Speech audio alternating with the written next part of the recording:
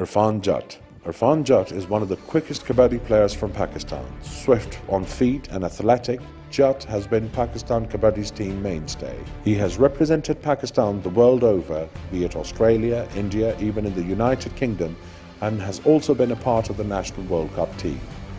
Musharraf Janjua. Musharraf Janjua has been representing Pakistan at Kabaddi but at Aplomb.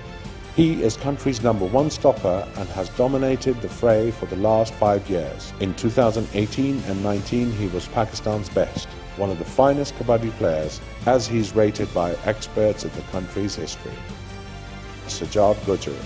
Sajjad Gujjar has been Pakistan Kabaddi's top stopper since 2016. He represented Pakistan in Kabaddi World Cup and other international tournaments the world over. His rivalry with Baba Gujjar has drawn huge crowd during the matches they have played against each other in local kabaddi.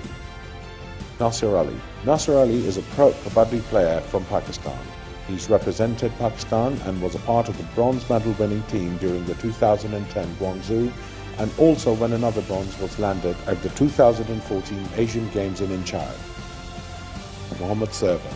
Mohammad Sarwar has served as a secretary of Pakistan Kabaddi Federation. Player of outstanding merit, Mohammad Sarwar had won silver and gold medallion for Pakistan. Brisk, strong and unforgiving opponent, Sarwar's race back was most delectable. Manajat. Manajat has been Pakistan's best raider, an artist strong and brisk, quick on the feet with amazing hand-eye coordination. He could be deceptive. He has represented Pakistan with an aplomb.